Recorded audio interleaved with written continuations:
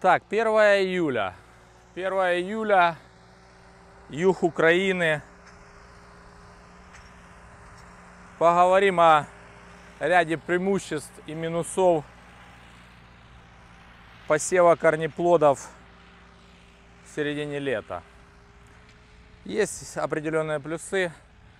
То, что, как правило, в это время успевают уже в первом обороте получить какой-либо ранний урожай, подготовить и посеять корнеплоды, которые потом будут созревать на фоне снижения температуры и довольно-таки хорошо будут лежать в зимний период. Но с чем сталкиваемся? А сталкиваемся со, с рядом других проблем. Очень жарко. Очень жарко. И в это время маленькие всходы попадают под высокие температуры. Высокие температуры, низкую влажность воздуха. И вот что мы видим. Сейчас мы попробуем найти растения. Здесь посев бурячка. Посев был совершен буквально вот недавно. Вот так вот погибает он подкорка. Температура воздуха днем 35 в тени достигает. Здесь уже семидоли сгорели, точка роста погибла. То есть как бы смотрим следующее. Ну, этот бурячочек пробился, рядышком вот второй росточек уже погиб.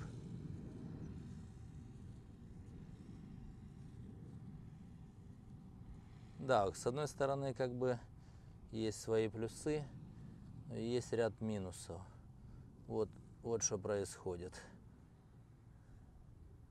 То есть гибель. Вот двухростковый бурячок. Буряк известной компании, довольно-таки очень популярен. Хорош в хранении при летнем посеве. Ну, при посеве корнеплодов летом есть, конечно, свои преимущества в плане то, что формирование корнеплода происходит на фоне снижения температур осенью. Вот. И перед наступлением холодов полностью сформировывается, получается довольно-таки лёжки. Но фермера сталкиваются с подобными проблемами. Вот потери всходов, части всходов. Есть рядочки, которые успели выйти, обозначились. Довольно-таки неплохое состояние. Да. Чем еще этот, этот период очень ответственен? Летом очень активны вредители. Вредители такие, как крестоцветная обложка.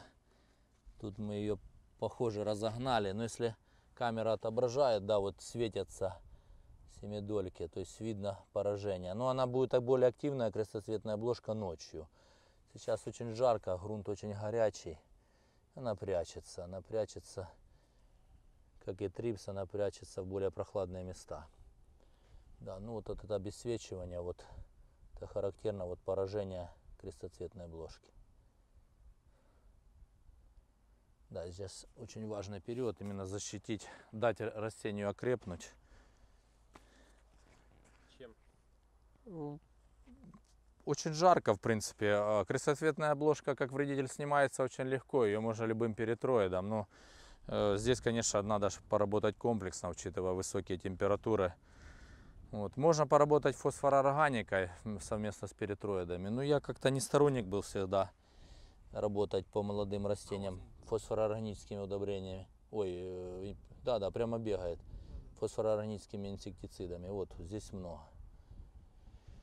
Ну, в любом случае, есть ряд мягких препаратов, там, типа Энджио, двухкомпонентных типа коннекта.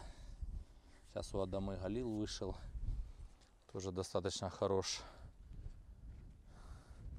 Надо дать окрепнуть, надо выйти растениям, дать растениям выйти в фазу четырех где-то настоящих листочков, что касаемо бурячка. Вот, в принципе, поле чистое. Видим кое-где только места портулака. Но я думаю, здесь идет активная защита почвенными гербицидами. Ну, лук достаточно тихо говорю. Буряк достаточно технологичен, чтобы обойтись без ручной прополки. Идем на морковку. По всей вероятности здесь был произведен, была произведена обработка водовсходовая беспочвенным гербицидом. Потому что, в принципе, кроме как портулак, больше другой травы нет. Портулак, конечно, в фазе 2-4 листиков. Но я думаю, хозяйство ждет полностью 100% всходов и начнет работать уже систематически бетоналом или бельведер-форта. Тогда мы, в принципе, два одинаковых продукта очень классные. А если уже сильно засоренные поля, то мы, конечно, прибегали к карибу. Регистрации, правда, нет. Вот на, на столовом буряке. Но эффект был очень высокий. Почиститься, если почиститься от таких злостных сорняков, там, как щерица, лобода, амброзия,